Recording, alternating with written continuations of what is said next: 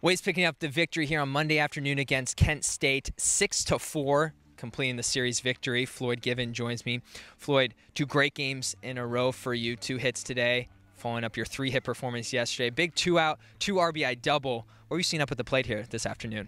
Well, I think today we were just trying to uh, really compete out there, and we were uh, trying to put together good at bats. Uh, we struggled in the first game, and we knew as a team that we needed to come back and um, put some hits together, and I think we did a good job of it.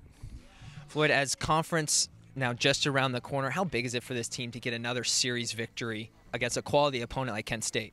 I think it's huge. Um, I think we've played well in all the series we've had. Uh, we came up short in the Louisville series, but other than that, we've played well. Um, we've lost a few close games, and we are where we are. The bats again continuing season high 17 hits yesterday, 13 hits today. What's been the difference these last two games up at the plate? I just think that we've, uh, as a team, we've all been seeing the ball up, just waiting for a pitch to hit and hitting pitches that we want to hit. Uh, we're still struggling a little bit um, with the key hits, but I think as a whole, we're doing a pretty good job.